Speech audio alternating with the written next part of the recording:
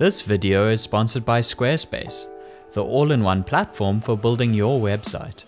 In this series, I go behind the scenes and look at some of the different crew positions on movie sets and what each of these jobs entails. If there's ever one crew position that everyone has heard of, it is the director. They are a person to whom the entire creation of a film is accredited to. You may know a bunch of famous ones, but do you know what their day-to-day -day job actually entails? In this crew breakdown video, I'll go over the role of the director, break down what they do, what their average day on set looks like, and some tips from some of the best directors out there.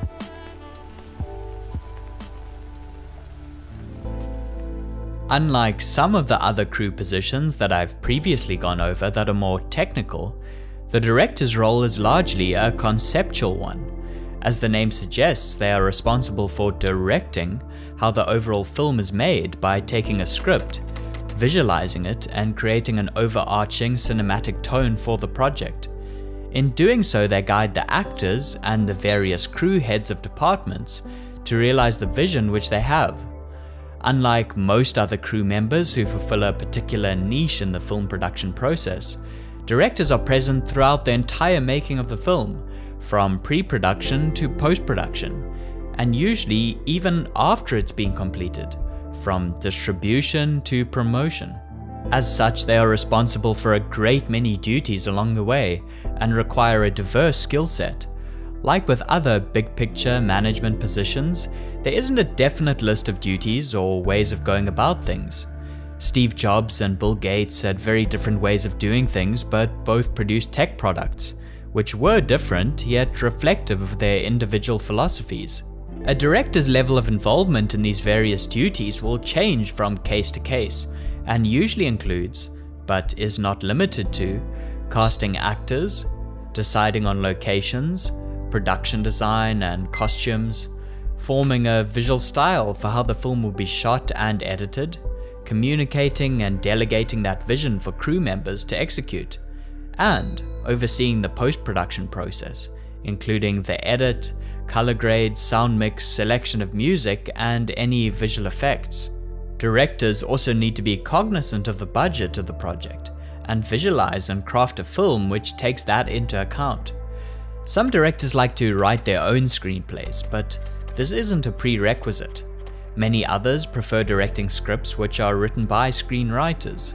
The process of visualizing a screenplay requires directors to make technical decisions to sculpt the visual language or vocabulary which ends up on screen.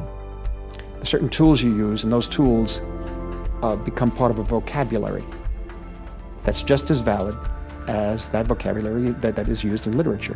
What it made me realize was that there was an intelligence, another kind of intelligence, that was trying to tell a story through where the director, the writer, and the cinematographer, where they were focusing your eyes.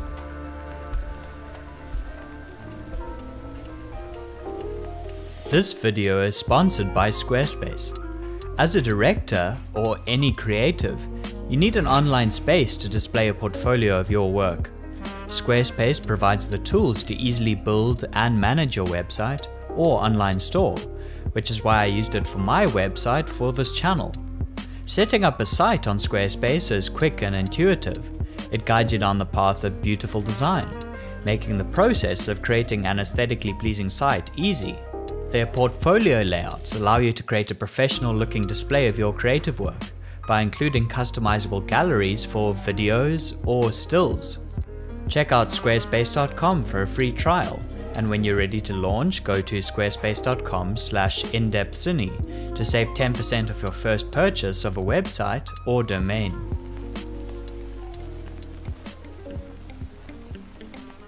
Usually in these videos I start with how a crew begins their day on set, however in the case of the director, their involvement in the project happens long before this moment. Unless they are a hired gun, employed to direct a project with a screenplay and many of the elements already in place, directors usually have to create their own work to some extent. For example, in the world of commercials, directors will receive a brief from a creative agency which the client has picked. They will then use that brief to come up with a treatment or vision of how they imagine the commercial, and then pitch that in order to win the job.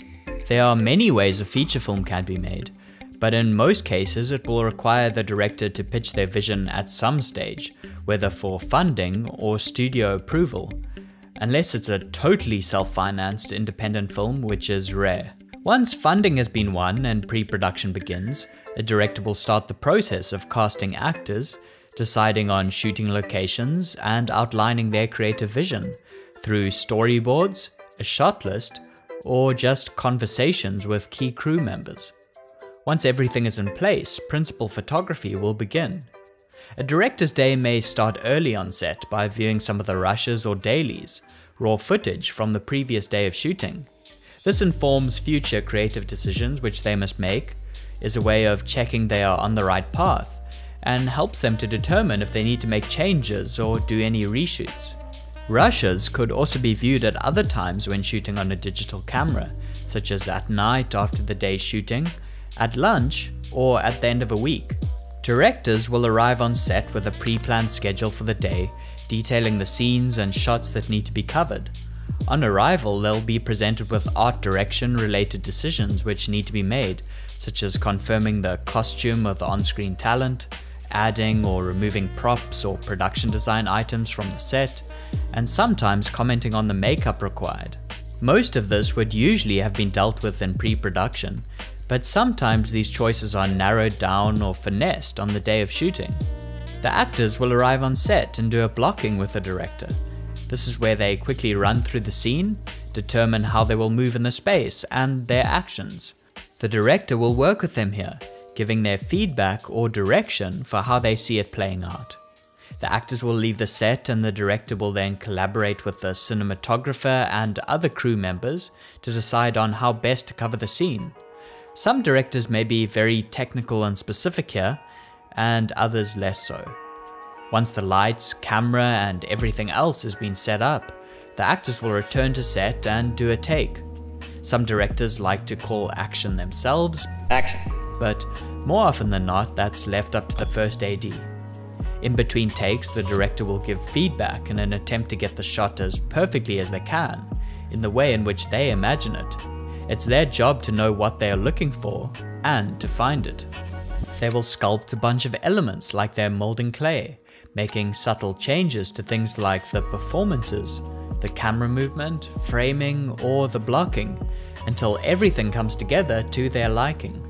Once they've got a take that they are happy with, they will then move on to a new shot or scene and repeat the process.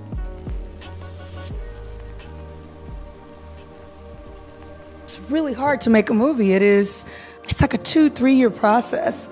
And you're really married to it. I call these films my children. This is what I leave behind. This is what my name is on. And so, so I put a lot of time, a lot of focus into it. And so why do that for something that you don't care about? Unlike other crew who bounce around between projects with a greater frequency, directors are in it for the long haul.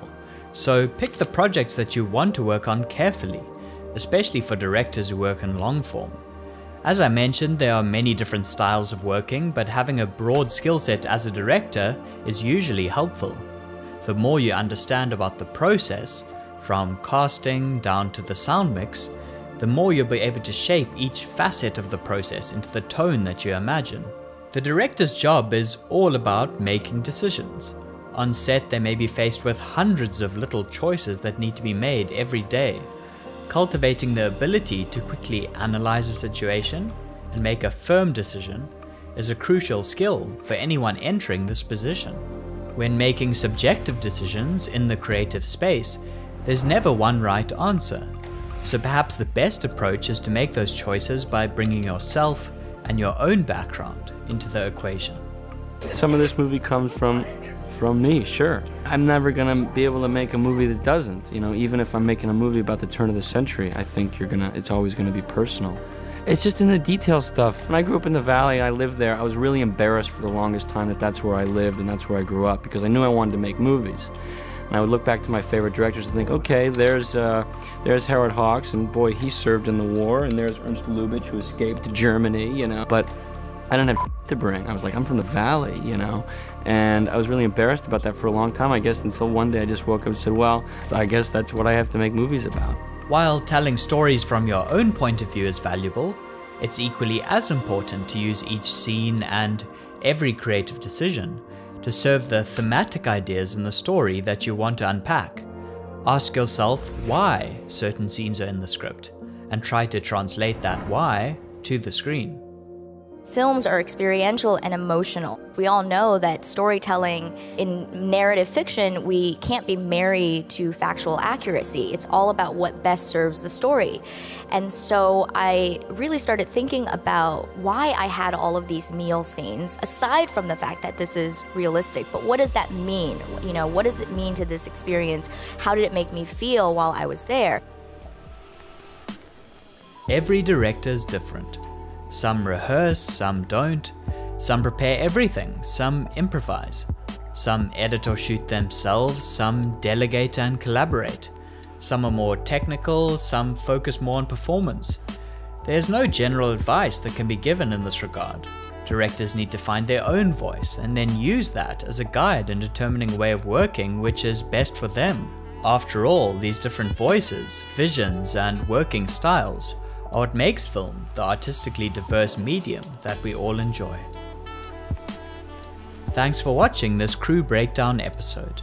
If you are looking for clothes to wear on set, go check out the official IDC merch, which features original illustrations of various crew members. Otherwise, until next time, thanks for watching, and goodbye.